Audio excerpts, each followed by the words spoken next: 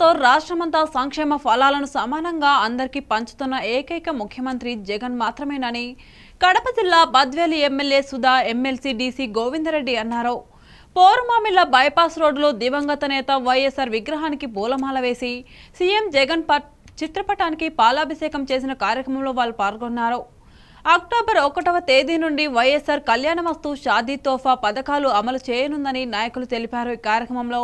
Municipal vice chairman Gopalaswamy Saikrishna market yard vice chairman Ramanareddy civil supplies director Sundar Ramareddy YCP నాయకులు బంగారు సీనయ్య మాజీ SDOT Venkateswarlu Putta Sriramulu Pratap municipal ward మెంబర్లు ward incharge Anil Kumar Raju Rajani Narasimhulu Ramesh తదితరులు పాల్గొన్నారు.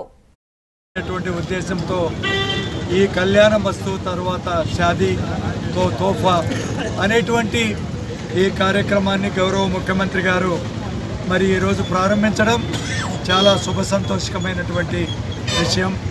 అనేక మంది పేదలు ముఖ్యంగా ఎస్సీ ఎస్టీ బీసీ మైనారిటీల్లో ఉండేటువంటి ఈ పేదలందరికీ కూడా లక్ష రూపాయలు పారితోషికం ఇచ్చేటువంటి కార్యక్రమాన్ని గౌరవ ముఖ్యమంత్రి గారు స్థాపించడం ఎంతో సంతోషించదగ్గ విషయం.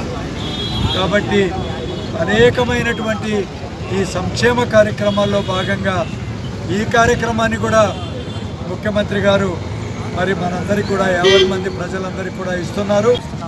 కానీ ఇంతవరకు చరిత్రలో కనివిని ఎరగని విధంగా ఇచ్చిన హామీలను దాదాపు తొంభై ఎనిమిది పాయింట్ ఎనిమిది శాతము ఏవైతే ప్రజలకు ఎన్నికల ముందర ఇచ్చిన హామీని నెరవేర్చిన ప్రభుత్వం బహుశా చరిత్రలో మన వైఎస్ఆర్సీపీ పార్టీ మన అధినేత జగన్మోహన్ రెడ్డి సారే ఉంటారు.